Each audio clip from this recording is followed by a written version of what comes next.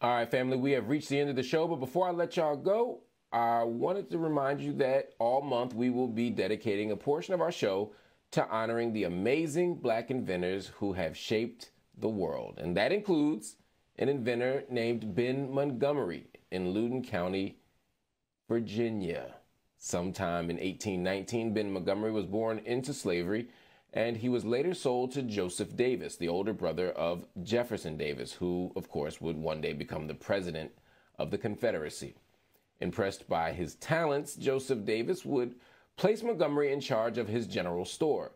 He would eventually oversee all purchasing and shipping activities on the plantation at Davis Bend, Mississippi. Now, Ben Montgomery ran these operations while he was enslaved. Can you imagine?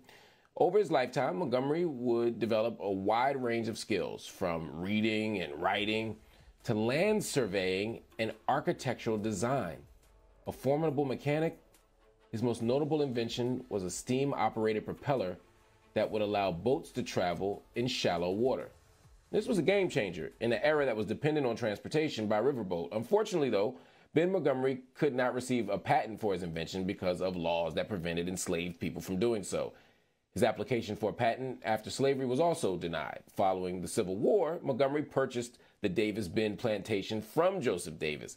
And based on a $300,000 loan, oof, he got the plantation. But severe flooding caused crop failure and converted the land from a peninsula into an island. And as a result, Montgomery defaulted on the loan and ownership of the property reverted to the Davis family. Ben Montgomery's dream of building a self sufficient community of formerly enslaved people would bear fruit with his son Isaiah. After his father's death, Isaiah eventually purchased 840 acres of land, and along with other formerly enslaved people, they founded the town of Mound Bayou, Mississippi in 1887. Ben Montgomery, we honor you, we remember you, and we thank you.